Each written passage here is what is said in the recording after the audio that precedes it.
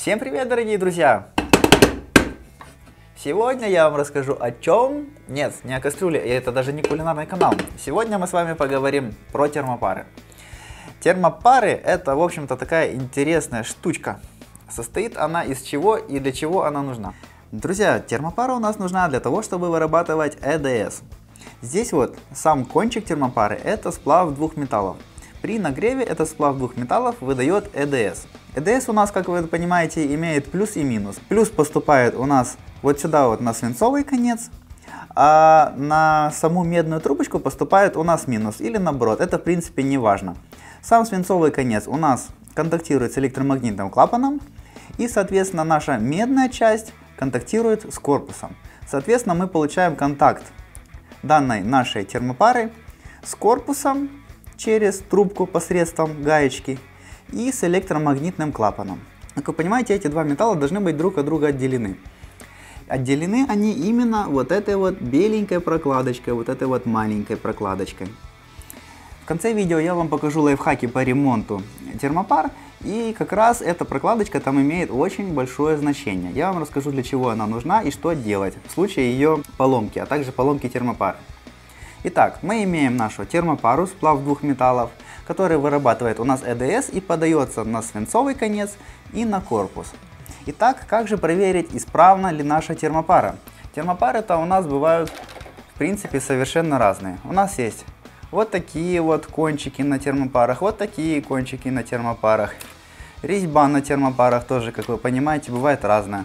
Вот эта вот резьба у нас девятка, эта резьба у нас десятка еще есть восьмерка, ну и так далее. И сейчас я вам расскажу, как же проверить, исправна ли наша термопара. Кстати, обратите внимание, здесь и тоже идет прокладочка. Прокладочка это у нас отделяет наш корпус термопары от вот этого вот свинца. Это очень важный момент. Итак, запускаем в работу наш супер-пупер мега стенд. Итак, наш супер-пупер мега стенд готов. Запускаем его в работу. Делаем чвирк.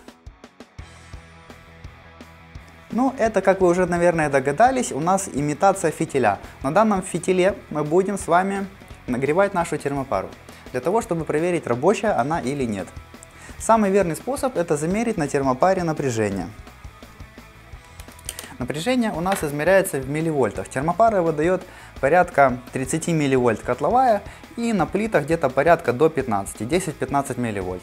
Выставляем на предел 200 милливольт один щуп мы ложим на корпус термопары, второй щуп мы ложим на свинцовый конец и начинаем ее греть. И смотрите, как начинают расти милливольты.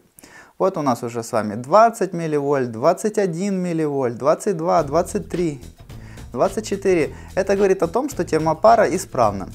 То есть у нее очень хороший милливольтаж. Таким образом наша термопара может набрать и 30 милливольт, и 35 вот. Но в принципе обычно для нормальной работы катушек клапанов достаточно где-то от 15 до 20 милливольт. Если термопара у вас показывает менее 15 милливольт, в принципе такой газовый клапан уже может даже и не держать. Хотя производители утверждают, что для того, чтобы работал газовый клапан абсолютно нормально, достаточно 5 милливольт. Но я считаю, что это полный бред, я ни разу такого в жизни не встречал. У меня всегда нормально работающие катушки клапанов, это где-то вот порядка 15-20 милливольт. Тогда у меня клапан остается в открытом положении. Итак, мы видим, термопара работает. Берем, к примеру, какую-нибудь другую термопару. Ставим на свинец и на корпус и начинаем греть термопару. То есть это говорит о том, что наша эта термопара также в принципе исправна и с ней все хорошо. Это вообще тестер, это самый лучший, самый верный способ точно узнать, работает ли ваша термопара. 30, то есть, ну видите, термопара в принципе исправная, вообще выдает очень хороший вольтаж, даже просто я бы сказал отличный вольтаж. То есть она будет нормально работать абсолютно на любой катушке. Это наш первый с вами способ. Как можно проверить? Самый верный, самый правильный. Сейчас второй покажем.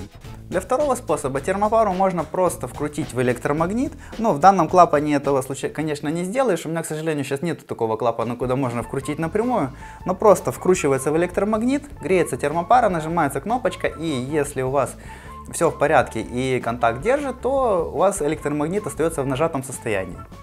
То есть просто вот вкручивайте. В данном случае вот у нас электромагнит, от него, видите, идет проводок, идет вот, вот он идет по корпусу, этот синий проводочек, и вот его контакт. То есть термопара у нас вставляется вот сюда. То есть и таким вот образом по вот этому вот проводку вот наш электромагнит. То есть когда мы нажимаем кнопку, мы прижимаем катушку сердечника, закручиваем туда, где она должна быть. Вообще в идеале закручивать, э, вообще электромагнит просто вынуть и закручивать непосредственно в него. Далее у нас для розжига мы ставим на звездочку, я обычно так делаю. У меня на клапане вот здесь вот есть звездочка. Вот. Нажимаем, имитируя, что газ пошел. И начинаем греть термопару. То есть я термопару подключил к клапану, я ее сейчас грею, кнопочка нажат. То есть происходит имитация того, что газ подан на фитиль, и термопара начинает греться от этого фитиля. То есть, по идее, вроде как термопару мы уже нагрели, и, наверное, наш клапан должен примагнититься. Принципе, это можно даже сейчас проверить и не вынимая клапан. Сейчас я покажу как. Смотрите, вот мы отпустили, и мы не знаем, у нас сейчас вообще сработала термопара или не сработала. Нам надо это как-то определить.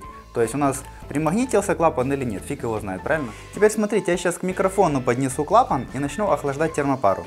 Вот я его поднес к микрофону, вот сюда поближе. Вот, и сейчас смотрите, я начну охлаждать термопару.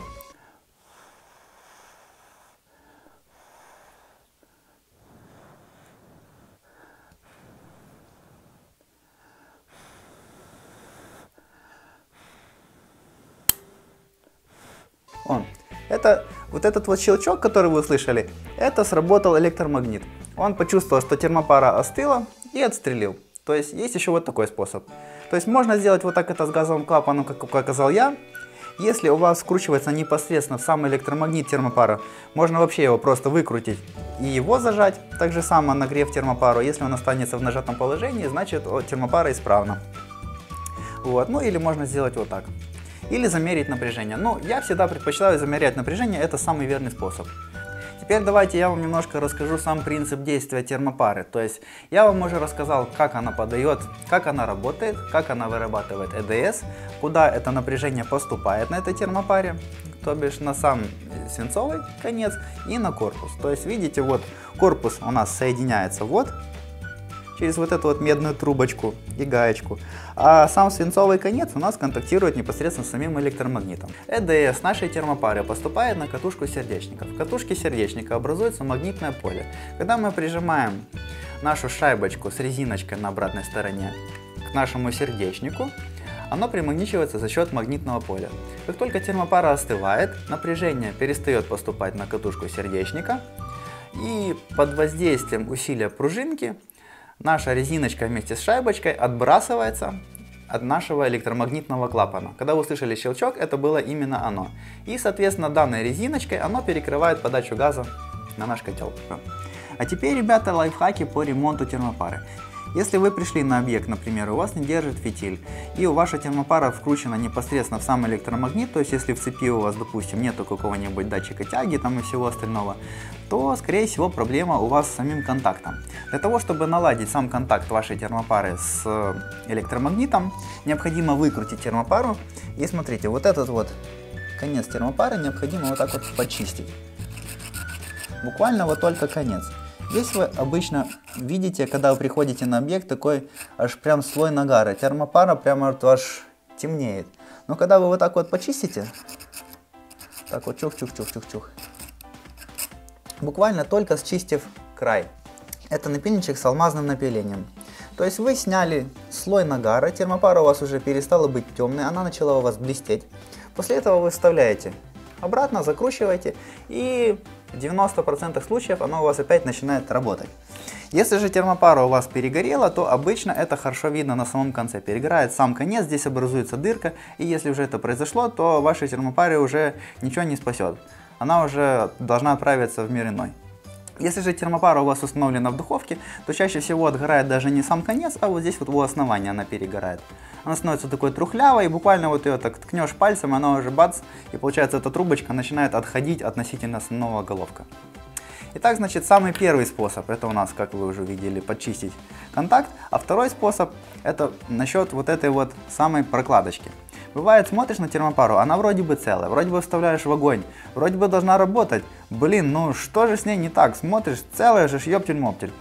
Вот. А смысл в том, что когда вы зажимаете по нескольку раз эту термопару, особенно если вы не первый слесарь, который пришел в данную квартиру, то вот эта вот прокладочка, которая находится между самим, получается, медным корпусом и свинцом, она рассыпается. И смысл вашей работы должен заключаться в том, что вы должны этот корпус заизолировать относительно свинцового наконечника, то бишь создать вот такую прокладку. Так как она идет заводская, я понимаю, это сделать довольно-таки непросто. Вот. И смотрите, можно либо взять кусочек паранита, сделать в нем прорезь и просто вот так вот туда вдеть. Например, вот сюда вот. Первая буква В, а не Б. Вот. И потом закрутить и скорее всего все заработает. Второй способ это взять, подмотать сюда, допустим, немножечко изоленты, либо немножечко фума, либо немножечко даже там, я не знаю, скотча. Даже скотч в принципе тоже не проводит электричество. Я обычно не заморачиваюсь, просто беру вот маленькую такую косичку фума, вот так вот чик-чик, так буквально два оборотика провел, отделил, создал вот эту вот прокладочку, отделил корпус от вот этой вот самой э, кончика. У меня получилась таким образом такая прокладочка. Придвинул это, вставил, зажал и работает. Вот такие вот два интересных лайфхака по ремонту термопары. Так что теперь, дорогие друзья, вы можете не только определить, рабочая ваша термопара или нет, вы также можете определить по ее внешнему виду, в чем поломка, и вы можете ее отремонтировать при некоторых неисправностях. Так что я надеюсь, что мой стенд все-таки помог мне в моих опытах. Если видео вам понравилось и принесло вам пользу, ставьте лайк и подписывайтесь на мой канал. Всем пока, друзья!